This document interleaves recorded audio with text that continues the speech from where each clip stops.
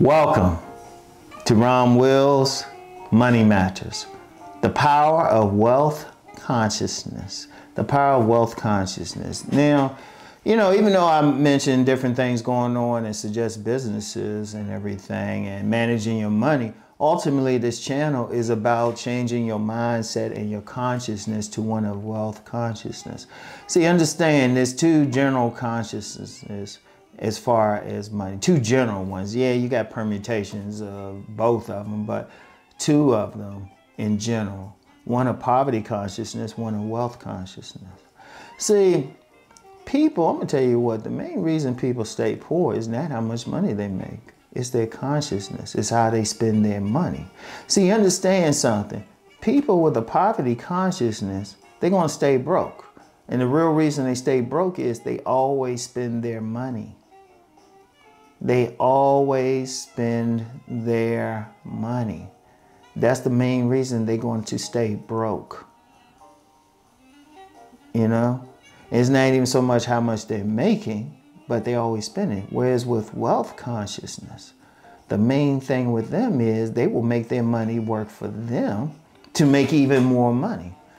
Now, before I had talked about, I did a couple videos talking about financial houses, and that was based on this book I read, uh, Ebony Treasure Map. Ebony Treasure Map by Myron Golden. And um, I'm gonna link the video, I'm gonna link all the videos that I did with regard to that. I'm gonna, well, I'm gonna link to two financial house videos. I'm also gonna link uh, Myron Golden's channel because it was a very powerful thing. He talked about the financial house of the he talked about the poor, the middle class, the rich, and the wealthy.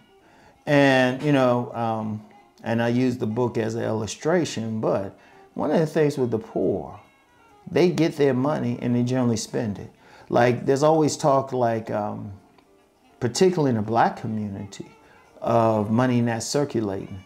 And the reason why they say it stay maybe for six hours. What do poor people do well, people who have trouble with money. They even they not maybe not even poor. They could be even be making money, making even up to six figures, but they're always broke. What do they do? As soon as they get their money, they spend it, or they spend it on um, either just their basic bills or wealth reducing liabilities. You know, they just got to get that fancy car. You know, that costs a little bit. That's going to cost them some money. They got to get the like the best shoes and everything. You know, they, they ain't gonna look for the stuff on clearance or at an outlet place. They'll get it like full price someplace. You know, looking like they're keeping up with the Joneses. That's really a poverty consciousness. You spending money, spending money. But if something happens, you're in trouble. Most people, unfortunately, are living paycheck to paycheck. That's a poverty conscious. You got that mindset. You're not using that money. Whereas with a wealth consciousness, they will spend that money on an income uh, income producing asset. Income producing asset like a business you know stocks real estate stocks. Uh, they'll put it into a business buy some property uh, something. They're going to put it into something that can bring in more money for them. See they just all, the biggest difference is how they manage the money how they manage the money because I'm going to tell you how deep, how powerful wealth consciousness is. You can start off somebody, you can start off a wealth consciousness person with minimum wage. And in a few years, they'll be living very well within a few years. And you say, well, how is that possible? One, with minimum wage, a big issue is how people spend the money. Yeah, no, it's, you know, yeah, it's not necessarily living wage or anything, but how do you how do you spend the money? Like I always talk about a savings, always paying yourself first. Um, and always talk about, you know, you want to put yourself in a position where you can cover all your bills for um, a minimum a month. Ideally three months and anything beyond that is great. But the thing is, someone with a wealth consciousness, you start them off there and they will find stuff to make more money. They will work hard. They might, yeah, they'll get that minimum wage job, but then they'll get a part-time job.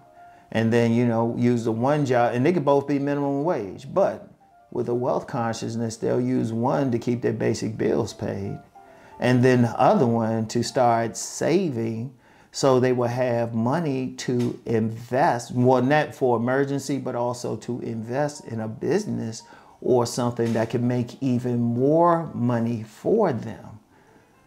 And you know, it could be a business, it could be getting the uh, credentials to get more money. And then a wealth consciousness person, they ain't gonna stay at minimum wage long anyway. I've, I've witnessed this happen on different jobs and it happened to me.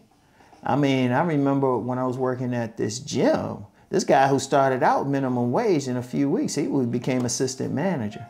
That's how hard he was working. And another guy, another guy on the same thing, who became a manager on duty pretty much right away. But it was how they worked. And then I always tell the story when I started on this particular retail job, I started off minimum part-time and minimum wage. Part-time and minimum wage. But just in a few weeks, I was doing such a good job, you know, I was able to go in and say, hey, uh, you know, I got this, I'm working on this other job. I'll leave it, but y'all got to give me more money. Boom, they gave me more money, you know? But I had that consciousness, okay, how can I bring in more money? And it's powerful. It's powerful because now you thinking, how can you keep the money flowing? How can you bring in more money? What can you invest in to get more money? In fact, even how I spend money now, there's more investments because you know I do a lot of videos and you know I got the polo shirts and you know Ralph Lauren shirts. I got the uh, Lacoste shirts and everything. Um, it's very rare I wear I wear them just out and about. Very very rare. But you'll see me on here with them investment. Because if I'm looking nice on here, then people watching the video and then, you know, they, you know, they'll sit through the ads, get some money there, um, get some money there, but then also check out my products and, and things of that nature, my other sites. So even then I'm thinking, okay, investment. How do I appear to people?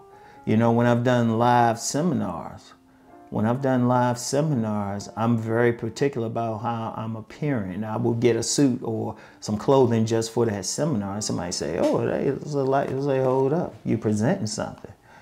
Because I'm thinking, okay, what can I do to make more money? Like the only splurge I really have is well, some pistachio ice cream every now and then. you know, because even the food, I'm like, okay, I got to keep my substance up, even the food. You know, yeah, I might check out a special restaurant every now and then, but even then, it's still about okay, this is feeding me. This is giving me energy to do the other stuff I have to do. It's giving me energy for my workouts. I'm known for body gain, so I gotta, uh, you know, I ain't, you know, I ain't looking like I could be a fitness model, but I look like I can throw up some weight, you know. But that's an investment. Where I'm at the gym at, investment, investment, investment in order to make more money. But that's the power of a wealth consciousness. Once you have a wealth consciousness, if you have that, this is so powerful. If you have a wealth consciousness, you could start out on any job and be making money soon. Because that, that's the key. You could start off literally at minimum wage. Because I, I can even say that. I can even say that. Started off at minimum wage. It was a t- I told you went through some tough financial issues, had to start from zero. You know, even like the clothes and area. I remember one time I'm starting off one time, I had to get these part-time jobs and I had to like had one undershirt. It was so tight, I had one I couldn't afford to buy a pack. I had one undershirt. I had to start out washing that thing every evening. And so I could wear it the next day, the shirt and everything, and just iron them real good. I could really iron. And you know, go to work until I could get a little bit of money just to start building a little bit more and everything. But had a wealth consciousness. See, a poverty consciousness wouldn't do all that.